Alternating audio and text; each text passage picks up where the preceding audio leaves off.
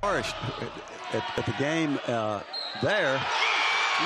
And Uri White gets fouled. opportunity for Uri White. As in, he was trying to penetrate, and he was able to stop him. What a feed by Smith to White. How about the Sturry White? Hawks up by five. Munnings will spot up for another three. Knocks that one down. Timeout. It was just a Ertel for three. Got it. Tonight, a senior from Atlanta, Georgia.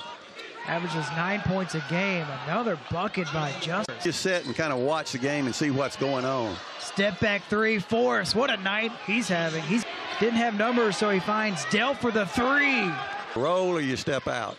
Shabazz with an answer for Appalachian State. First hit from downtown tonight.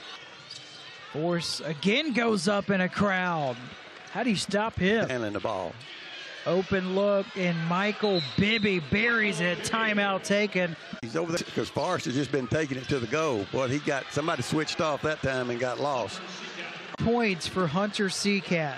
Williams kicks it in the corner. Bibby made one moments ago, and he does it again. The night for Appalachian State. Smith with an answer. Now, if somebody will move, they'll get a shot. Williams at the buzzer gets it to drop. See, they got uh, Isaac Johnson back in now to, to get Seacat out of the way so he can defend him. Tough finish at the rim for Michael Ertel. And that will be the final bucket of the game as ULM will go on to win 89 to 80 over Appalachian State. And ULM punches their ticket to New Orleans.